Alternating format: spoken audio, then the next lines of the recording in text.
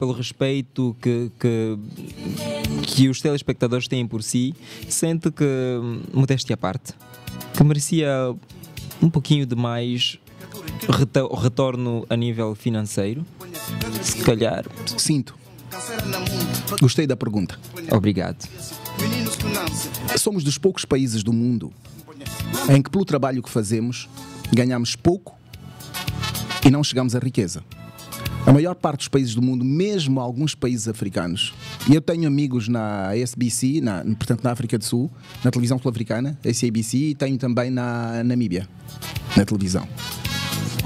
E quando tu visitas um amigo desses, e eles levam-te a passear, levam-te a visitar as casas deles, tu descobres que não vives, sobrevives. Tu sentes que é digno ser apresentador num país vizinho, numa África do Sul, não sei em outros países que eu não conheço, mas uhum. pelo menos refiro-me àqueles que eu conheço. Eu não conheço um apresentador de televisão que seja rico em Angola. Puxando pela minha memória, não. Se é rico, pode ser de herança. Uhum. Ou de outros caminhos. De outros caminhos. Não pelo trabalho que faz.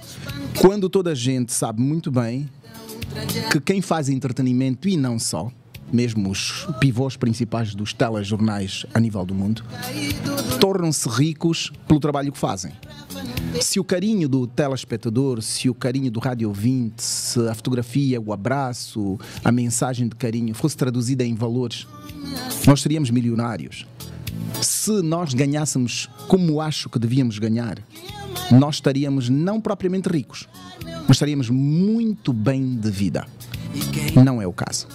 Nós somos apresentadores, sim, mas nos sentimos, e eu vou falar por mim, um simples trabalhador, uhum. um simples operário. E quando olhamos para um mundo muito próximo e um mundo, se calhar, muito distante, e olhamos para a qualidade de vida de determinados apresentadores de outros países do mundo, bate uma certa depressão, bate uma certa tristeza. Mas pronto, é a nossa realidade, é o meu país e eu sou muito realista.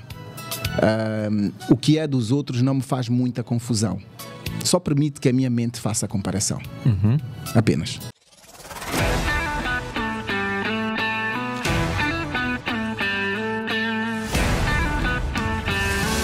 Você está na Platina.